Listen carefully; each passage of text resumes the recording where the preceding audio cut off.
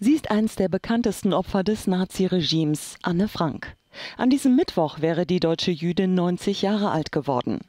Für den US-Amerikaner Ryan Cooper der richtige Zeitpunkt, einen Briefwechsel mit Anne Franks Vater Otto zu veröffentlichen.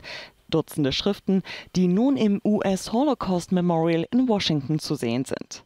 Erschüttert vom Schicksal der Franks griff Cooper zu Stift und Papier. Er war damals 20 Jahre alt und lebte in Kalifornien.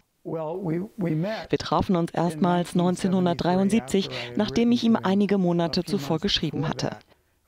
Wir haben viel erlebt. Er zeigte mir auch Annes Originaltagebuch.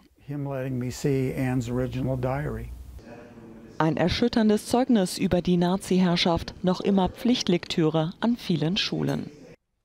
Anne schrieb es in Amsterdam, wo sich die Familie in einem Hinterhaus vor den Nationalsozialisten versteckt hielt.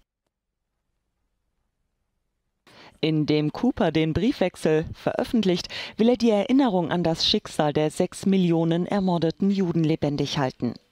Eine Mission, der sich auch Otto Frank verschrieben hatte, der einzige Überlebende der Familie. Dank seines Engagements wurde Annes Tagebuch 1947 erstmals veröffentlicht.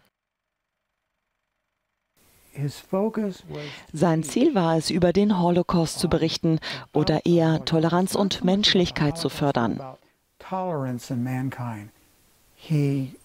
Die Briefe, die junge Leute ihm schrieben, bedeuteten ihm viel.